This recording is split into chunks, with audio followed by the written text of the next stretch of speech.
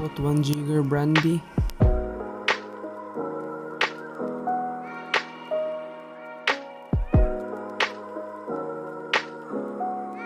One jigger cream de cacao brown.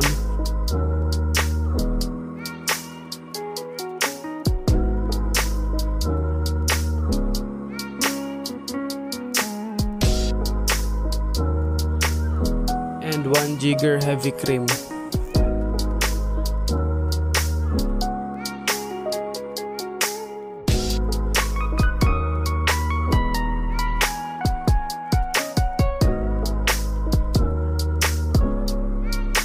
In a cocktail shaker filled with ice, combine brandy, cream de cacao, and heavy cream. Shake well, then strain into chilled cocktail glass. Garnish with grated nutmeg and serve.